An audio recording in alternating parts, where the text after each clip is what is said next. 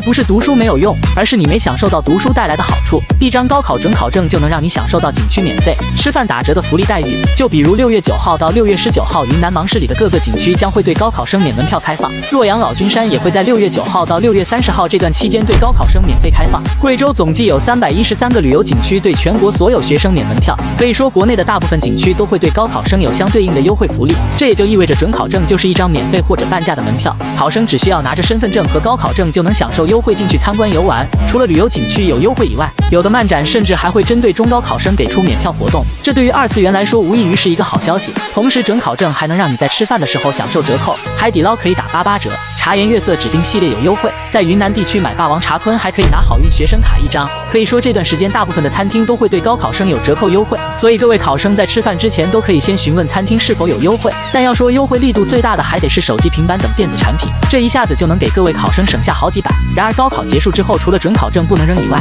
这三样东西也千万不要扔。高考写字的黑笔不要扔，因为它能够用到你大学毕业。你手上的旧手机也不要扔，在上大学的时候还可以拿来刷课。最后记在脑子里的英语知识也不要扔，因为你还要靠它来考英语四级。最后祝愿各位考生金榜题名，前程似锦。